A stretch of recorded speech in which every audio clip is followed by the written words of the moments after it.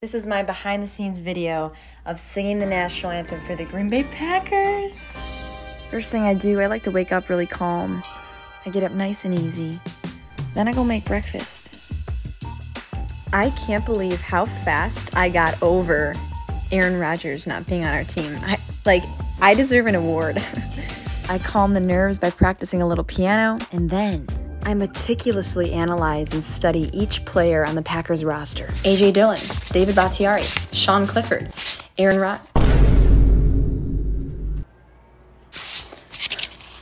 Okay, I haven't completely gotten over Aaron Rodgers, but I go to therapy once a week, and I think I'm doing okay. I will never forget when I met Aaron Rodgers and he looked into my eyes and our souls connected like he was trying to tell me something. And I could hear it. Go, pack, go, go, go. Here we go.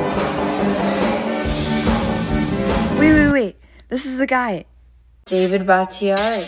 Oh my god!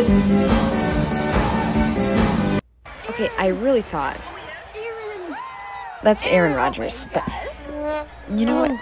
Oh, okay, sorry. Go back, go.